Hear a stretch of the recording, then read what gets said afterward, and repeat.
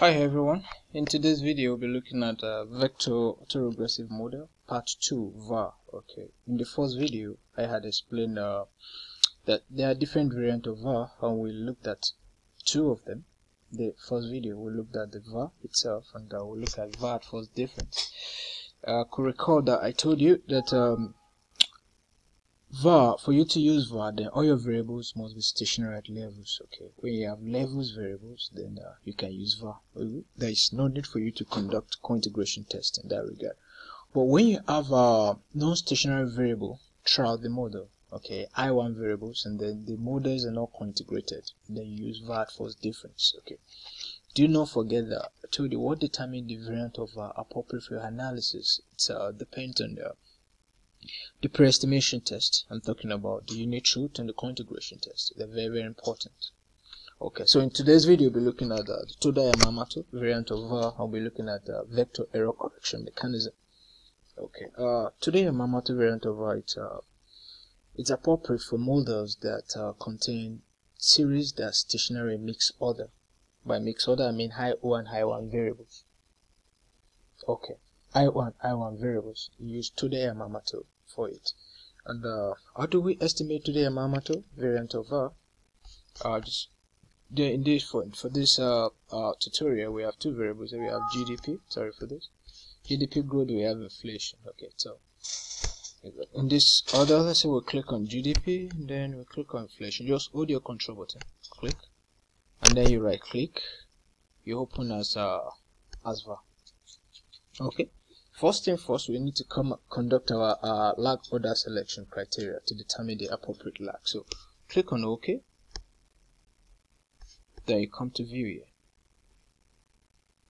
Okay, it's a lag structure, lag length criteria. Let's say we are looking at it up to 4, lag to include 4. We click on OK. We have our result. Okay, so uh, we have various results by different uh, selection criteria, Akaike, Hannan-Quinn, Schwarz, okay. So let's say we are going with Akaike. Akaike picks 2, okay, 2 lags, 2 lags, okay. So I'll come back here, estimate, we have 2 lags already, so that's good. So we specify into the Yamamoto, just copy these variables in the endogenous box and come and put them in the exogenous variable box. Okay.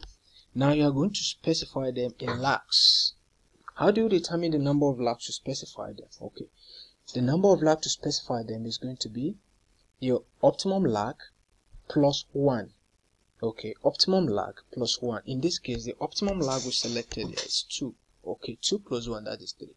If you are picking 3 lags there, then it's going to be 3 plus 1. If you are picking 4 lags it's going to be 4 plus 1. So you come here. Minus 3 okay. Minus 3 okay.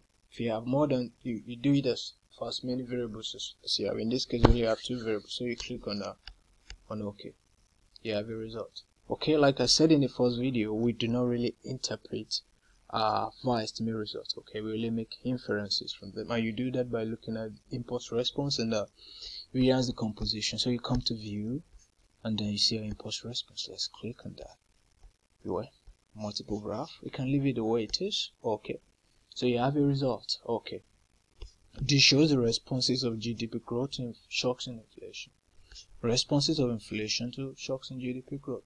Responses of GDP growth to shocks in GDP these are shocks basically okay so uh, this one tells us that uh, GDP growth respond negatively to inflation just for the first three three periods and after that respond positively but then it converges back to equilibrium in the between six and seven period okay here inflation respond uh, negatively to shocks in gdp growth. Mm, but it converges back to equilibrium in the sixth period okay? So that is that. Then you come here variance composition. Sorry this is not supposed to be there. Variance composition. you click. Usually you present it in table. Okay so you just look at the table okay variance composition okay this basically tells you what percentage of changes in a dependent variable that is uh, explained by the independent variable for example this tells us uh, the percentage of changes in GDP growth that is captured by that is occasioned by inflation. Okay, so for the first period, this period, okay, for here, this is a yearly data, so first year, second year, third year. I mean, in the first year, inflation had no effect on GDP growth. It accounts for no changes in GDP growth. Uh, that is uh, in the first year, so we can say a year lag, kind of. Okay, in the second year, it only accounted for about 1.7% changes in GDP growth. Okay, the same thing for inflation. Okay, so that is Toda Yamamoto. Okay, I could just show you the uh the model specification here. Okay, see how you specify the Toda Yamamoto. Okay, this, this K here denote the optimum lag length, and that is determined by conducting a lag selection criteria test, the one we conducted, and uh, you see, the D max is the maximum order of integration. So, like we specify, see K plus one, the maximum, the optimum lag criteria selected plus 1. That's what determined the lag we included in the exogenous box and then to k plus d max. So this is Toda Yamamoto model uh, model uh, model construction. Okay, so uh, now we look at uh, the vector error correction mechanism model. Okay, vector error cor correction mechanism model is appropriate when uh, your model has stationary of in order one okay non-stationary variable basically i1 variables all true but then they are co-integrated. For var first difference they are all i1 variable non-stationary or you say stationary at first difference but they are not co-integrated but for VEC they are i1 variable and then they are co-integrated okay so we should know the difference. Okay how do we do that? Uh let's start all over again. This is open as var. Okay now we know that the optimum lag length is 2 so no need to do that again. Just comment vector error correction mechanism okay click on vector error correction mechanism. Uh, the optimal lag is 2 we conducted it for the first one so okay. You have a result. From this we can make our inferences. So we can get our impulse response. Impulse response. Uh, multiple graphs, combined graphs, okay.